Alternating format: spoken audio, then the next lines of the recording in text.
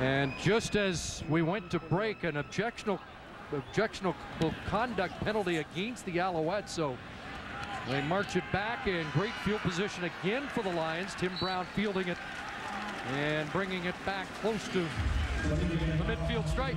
Well, that's a good point when you talk field position, Chris, because in that first quarter, Montreal started average on their own 29, the BC Lions on their own 47, and again, good field position here, just shy of the center field stripe. So Travis Lulay has been working on basically half the field. And we're told that S.J. Green was the target of the flag. 58 is eligible. He's got to be the target for these young quarterbacks. At the 54 of the Lions, BC starts, and when Johnson throws a flag.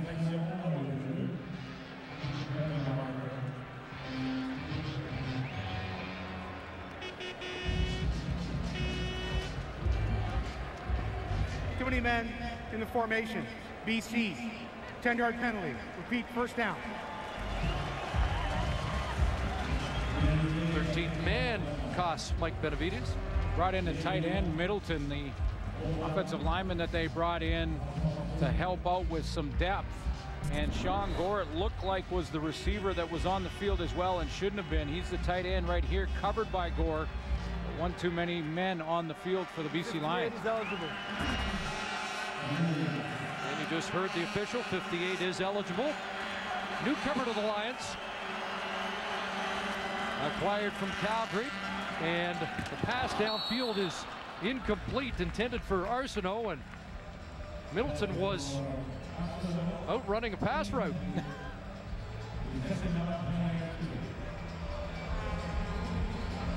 Starts out at that tight end. You heard the officials say that he was an eligible receiver. I'm not sure if he was the number one target, but he did try to release, push to the flat, and Manny Arceneaux ran that out, but underthrown by Travis Lulay. Arceneaux working against Jeff Tisdale. Second and 10. Second and 20, excuse me.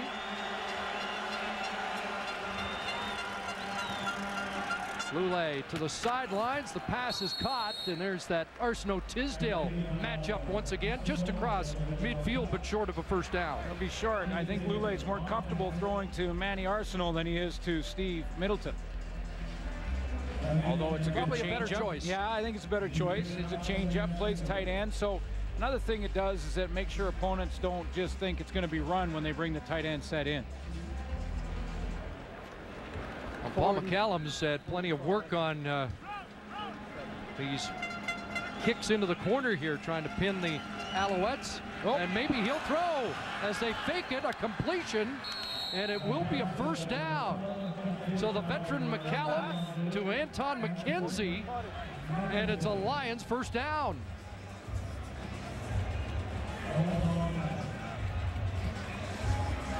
Anton McKenzie is what's called the personal protector. Lines up back about seven, eight yards from the line of scrimmage. He's there really for protection, but watch him sneak out early and no one picks him up. So McCallum realizes that he's uncovered. I'm not sure if this is called or not, but if you exit the line, as you exit the formation and sneak out there, and no one comes out to cover you, a veteran punter recognizes it, first down BC. Lions got burned the same way out of punt formation by Calgary last week. 43-year-old Paul McCallum with the completion. And now the toss to Tim Brown, tries the left side. And he gets brought down by Lavarias. You know, BC Lions have had the field tip their direction, but you know, I, I'm, thinking that they get antsy if they don't come away with a major on this series. And Mike Benevides, his score could be a lot worse in his favor on the road. Now the word is it was pouring rain before the game. The word is there's another system coming in that might hit us around the third quarter. So a good start, important for both these teams, and I. Mike Benevides wants to take advantage of this field position. Manny Arceneaux shaken up on that last play. Bill Rochelle out to assist him. Five-yard pickup for Brown, who leaves the game. And Andrew Harris checks back in. Travis Lulay's Still looking for his first 300-yard game of the year, his season best 284 against the Edmonton Eskimos. Here comes the blitz, second and five, flag down. Montreal maybe offside, and the pass for Iannuzzi sails the strider too, too far.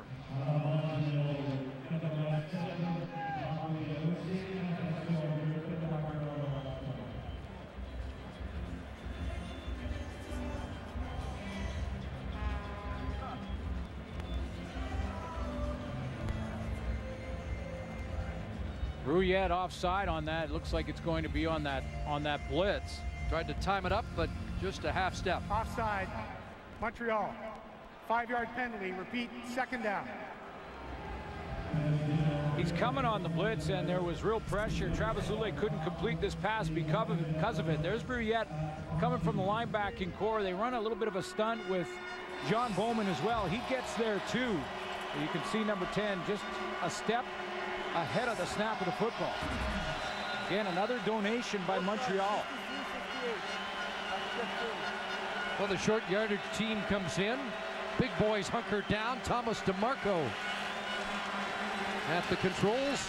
And DeMarco sliding off the left side behind big Patrick Kabongo, who was grew up here in Montreal.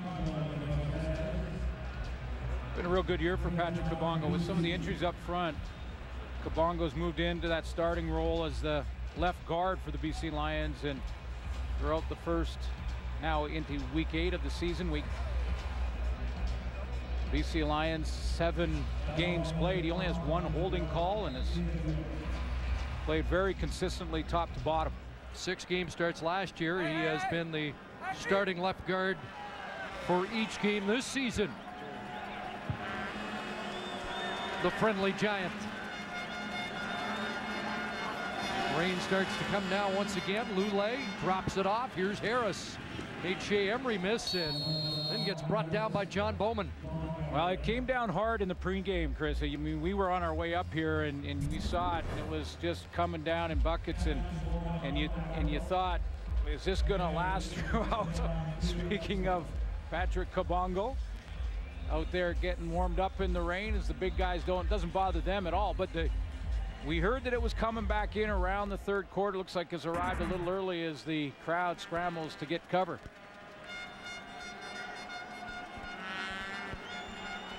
Second about a yard and a half for Harris. Uh, John Bowman there to grab him and then they pull him back. And I'm not sure. I don't think he got there. It's going to be close. John Bowman the eight-year veteran who told us the start of the year, I think Stu's going to come back before this season's over. His good buddy Anwar Stewart. Let's see where they mark it at the 21, so they're going to be a yard short. Boy, it's a full yard.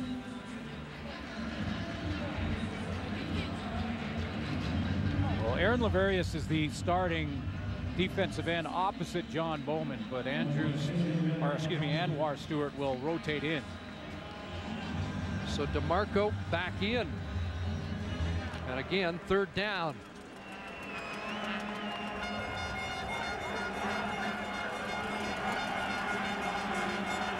Tenth play of the drive as the Lions try to extend it.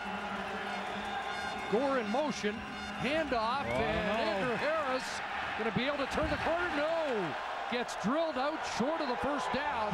It's a turnover on downs by a fired up Alouette defense led by safety Mike Edem.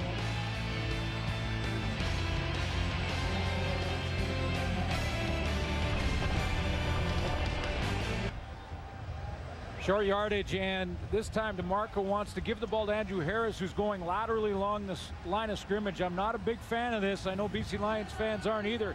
Jerald Brown shoots the gap. He had the big play last week that got the Alouettes the lead late against Saskatchewan. Ended up losing that lead. Mike Edem helps clean him up with the tackle. But Jerald Brown with a great shoot through the gap. Makes another big play, turn it over on downs. Well, we've seen rain like now. this a few times this year. That's as heavy as it's been, though. And Tanner Marsh stays in at quarterback and hands it off to Jerome Messam. Well, another Texas-born quarterback. There's a few of them in the league. I Wonder how many rain games like this he played down in Texas. Wow. so, son, you getting a chance to play against the number one ranked pass defense in the in the league in the BC Lions. Not bad against the run either. And it's your first playing action in Canada. And guess what? It's pouring rain. Two for Messam, second and eight. Quarterback draw straight ahead. And Tanner Marsh dropped the football, had the first down. Who's got the football? Like Christian Mack got there quickly. Riding with Josh Bell to see who comes up with it. Slippery pigskin.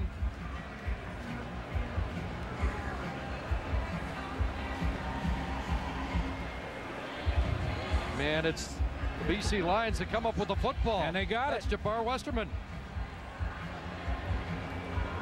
So Westerman with the fumble recovery, and after turning it over on downs, the Lions get it back.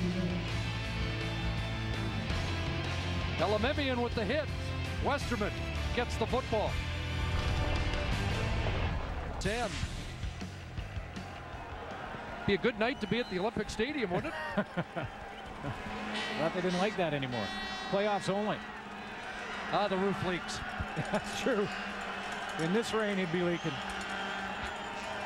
Travis Lulay looked like a little confusion there as he is swarmed at the 35. Another first down loss for the Lions. And tough start for these young quarterbacks for Montreal. Tanner Marsh get a little playing time against Toronto, but only has attempted two passes coming in to this game tonight. So limited action in his first year. Had the first down, puts the ball on the ground. Solomon Elimimian, and I think Corey Banks was involved as well, knocking it out of there. And Jabbar Westerman comes up with it. Second force fumble by the Lions middle linebacker. First down production has not been good for the Lions. Second and 11. Lulay will drop it off, and there's Harris once again. Trying to make the first man miss, not this time. Douillet cleans up after Jeff Tisdale had slowed up Andrew Harris. You're right, Chris. It's first down production that's been the issue. And early on, it was a lack of protection for Travis Lulay. Just didn't have time to settle his feet in the pocket. But as this game's gone on, the protection's improved. They just can't get that five, seven, six yard gain on first down, get them in manageable situations on second down. Of course, the weather isn't helping. One. So in the slick conditions, be a 39-yard attempt. Out of the hole to Thomas DeMarco for Paul McCallum, who puts it through. The Lions increase their lead up by 15 here in the second quarter in rainy Montreal.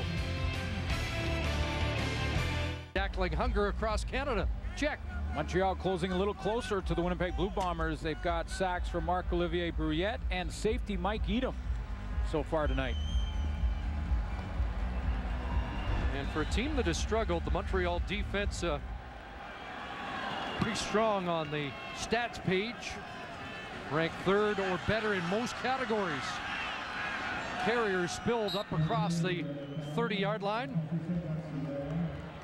Tanner Marsh gets set to go back to work against a very stingy Lions pass defense. Now it's still early in the year, but that has been an impressive number. Under 200 yards allowed for the BC Lions after seven games to the 2013 season. And there's interesting teams. I was on that Saskatchewan team in 88. Didn't realize that played there and it Didn't know was- you were that good. Well, no, but the, the BC Lions beat us in the in the final that year at home or in the semifinal. Rich Stupler, Rich Stubler is the architect of a couple of those defenses. Here's Marsh airing it out. He's got a wide open man. Duron Carter has the catch. And Cris Carter's son had the big play and then dropped the football. Let's see if they rule him down. Six foot five, 205 pounds. Duron Carter with a 52-yard catch, his first in the Canadian Football League. And up until that point, the Montreal Alouettes passing had just 14 yards passing against this BC defense. And just as we say it, they have a bust in the secondary, and that's J.R. LaRose coming all the way over to try and help out. The wide receiver to the outside here, little stop and go on Cord Parks. Gets in behind him. So the son of a Pro Football Hall of Famer making an impact with his first catch in the Canadian Football League. And Marsh, corner route looking downfield, and he's got another completion. Eric Deslauriers. And suddenly Tanner Marsh has the fans in Montreal excited. Yeah, and, and the fact that he's muscling this ball down the field in these conditions is impressive. This was supposed to be lined up as a hit screen to Arland Bruce on the outside, but Tanner Marsh thought, I want to get a little bit more. I got an open receiver down the field. Over, over. Well, that a little bit of Ricky Ray on that football, didn't it? Well, 52 to Duron Carter, 20 to Deslauriers. And the Alouettes are first and goal. And a problem with the snap. Marsh picks it up, and he'll get back close to the line of scrimmage. But a wasted down in the score zone. And it looked like this one, it didn't, like the early one for the BC Lions, that had heat on it from the center. Luc Brodeur Jourdain here has a pretty good snap in the shotgun, just goes right through his hands. I, think Tanner Marsh took his eyes off it, went to go for that handoff or play action, took his eyes off it just for a split second before it arrived. So it's second and goal from the seven.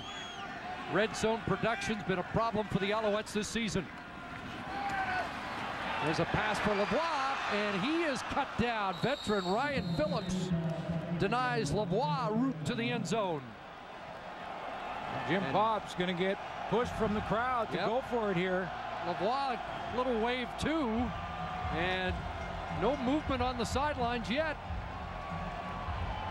What's he going to do?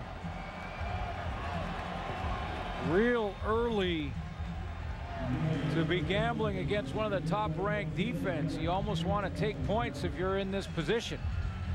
And this is a... They're trying to keep that football dry, but you're three yards away from the goal line. There's one of the biggest differences from last year. Both the same number of trips to the red zone, less than half the production. And now it's third and goal for Marsh. Out of the, the gun. Puts it in, the end zone, touchdown, S.J. Green pays off, but I think you take the points. it worked, and it'll grab some Montreal momentum. Number one receiver for the Montreal Alouettes, S.J. Green, number three in the CFL. And the Alouettes wanted the football back because they wanted for Tanner Marsh. That's right. Oh, and he recognized blitz up the middle from Solomon Elimimian. Saw him coming, left his spot in the linebacking core. That's where the void was, and Green got there. S.J. Green threw it into the stands and realized, hey, that, that thing's a souvenir, and he just went over to give it to Tanner Marsh. Extra point for BC native Sean Whyte, and Alouettes get back in the game. Well, the big throw to Duron Carter got Tanner Marsh going in this offense. And that's a tough throw in these conditions. He got it, took advantage of a bust in the coverage, and then S.J. Green comes inside. Nice inside route. He sees that Solomon Elimimian is gone, and he's going to come in, make that inside move with the linebacker leaving the middle. Tanner Marsh recognizes it. Outstanding for such a young quarterback to see nobody in front of him with the blitz coming and got rid of it before the blitz could get there.